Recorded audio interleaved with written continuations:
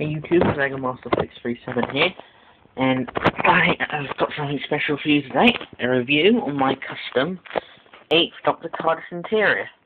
So, here it is from an angle. I've covered up um, a piece, a set from um, latest Doctor Who episode I'm working on. Don't worry, I'm still working on it, it's just a project I've been building in the meantime.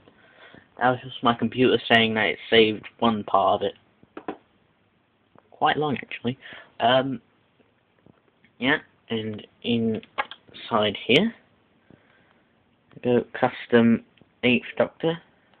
Why all my cameras go blur whenever I bring up close, I do not know.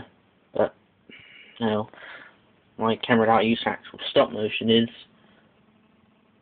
well, it's just plain blur. I can't help. I don't know how to fix it, but yeah, that's my custom uh, McGann. Anyway, there's my TARDIS because I've got, only got a few seconds left. My phone.